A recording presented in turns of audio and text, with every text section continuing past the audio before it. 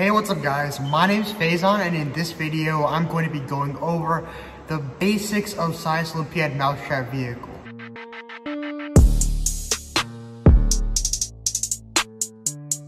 If you're new to the channel, I post videos on Science Olympiad every Tuesday, Thursday, and Saturday. So if you're interested in Science Olympiad and you want to improve your devices, make sure you hit the subscribe button as well as the notification bell to be updated every single time I post a new video. But with that said, let's get right into it. In the Mousetrap Vehicle event, there's a million different things we could talk about on how you can improve your Mousetrap Vehicle. But like I said in this video, I'm only going to be covering the basics and I'll be divided into three different parts. First, we'll talk about how weight and friction will affect your device. And then we'll move on to talk about some of the mechanical advantages and how you can alter those to make your car go faster or further. And then we'll come back and we'll talk about some more advanced ways you can go about designing your mousetrap vehicle. But first, let's talk about weight and friction. So by far, the most important things you want to measure and make sure you reduce are the weight of your car and the friction it creates while it while your car moves forward. Now, weight obviously is the amount of mass your car has that composes everything. And the reason why mass is so important for the Mousetrap vehicle event is because your Mousetrap vehicle, specifically for this year, is only powered by one Mousetrap. If it was a high school division, I believe it was two Mousetraps, but for middle school, one Mousetrap and that mousetrap has is the only power or original source of power for the movement of your vehicle. So you only have very little amount of energy to propel your car forward to between 9 and 12 meters. So again, very little energy. And the more mass your car has or the more your car weighs, the more amount of energy is required to overcome that initial burden until it's able to go forward. So the lower your car weighs, the less energy needs to be allocated into overcoming the mass, and that will allow you to go forward. So essentially, by having a lower mass, you have more energy able to propel the car forward, making your car go faster, but also further because you have a little bit more energy. Now this same explanation applies to friction. Because you have so little energy, the amount of friction your car experiences is going to hinder the speed and distance of your car. If you reduce the friction of your car, then again, your, your less energy will be wasted into heat and you'll be able to use more energy to propel your car to go forward and farther.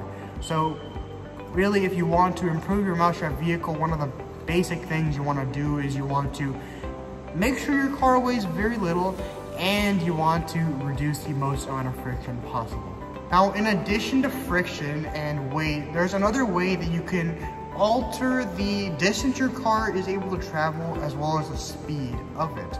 And the two main things we'll be focusing on is the uh, axle, drive axle diameter to the drive wheel diameter, the ratio of that, as well as the lever arm length. Now this is a compound lever and we'll talk about this in a minute, but we'll focus on first the drive axle to drive wheel diameter ratio.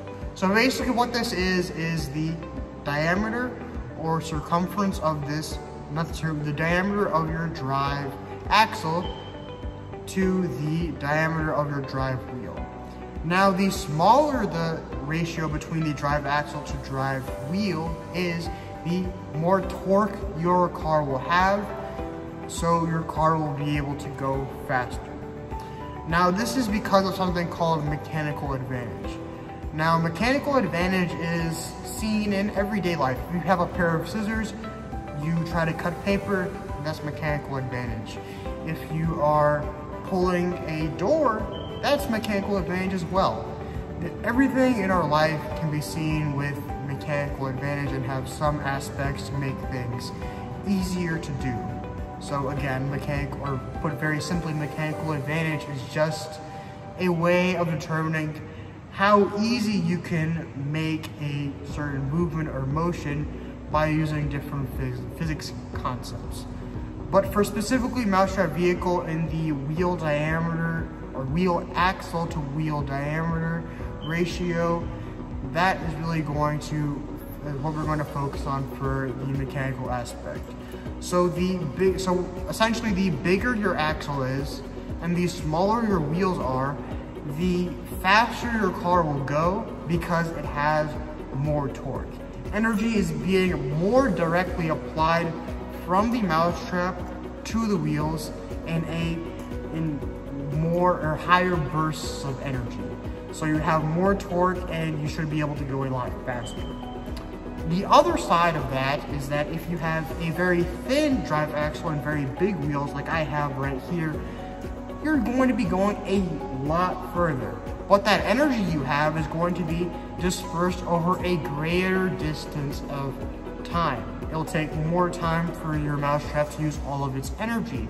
So that means that although you're going a lot farther, you're going to be losing a little bit of time. It'll take you a little bit more time for your car to go the entire distance. So you want to balance between the uh, drive axle diameter and drive wheel diameter to get that perfect balance between the between going fast and farther. Now another aspect of this is the lever arm. Now this is the lever arm, it's that little bar that attaches to the mousetrap and what the lever arm does is it increases the amount of string you have to pull this drive axle. The longer your lever arm, the more string you have, while the shorter the lever arm, the less string you have.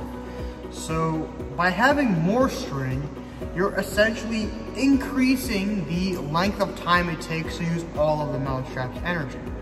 But you're also increasing the amount of rotations that are placed on your drive axle and that move your drive wheels. So basically, by having a longer lever arm, you're, yes, you're, you're increasing the length of time it takes for your mousetrap to use all its energy, meaning your car's going slower, but your car will also be able to go a lot further. So in addition to balancing the ratio between the drive axle and drive wheels, you want to focus on the lever arm as well. And you can do, you can find a balance between both of these to make your car be the best that it can possibly be.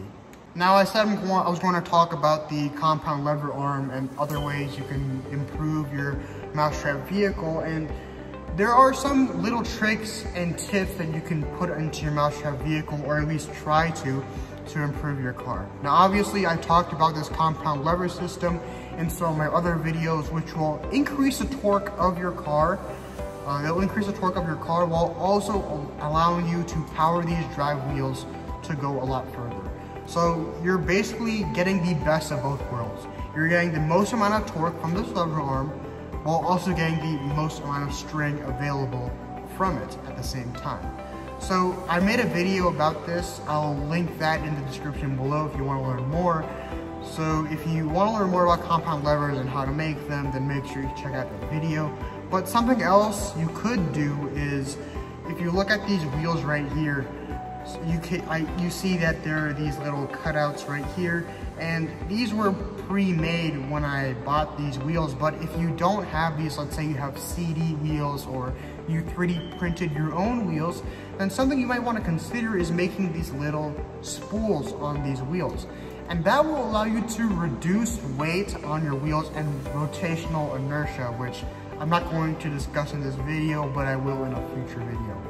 But basically by reducing rotational inertia, these wheels are much easier to rotate and and you should be able to go faster despite having bigger wheels and a small drive axle. Your wheels should be able to rotate faster while also being able to go further.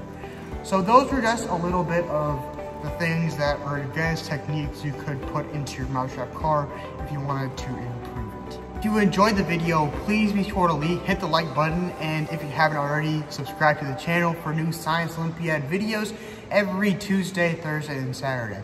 But with that said, I'll catch you guys next time. Stay Unphayzed.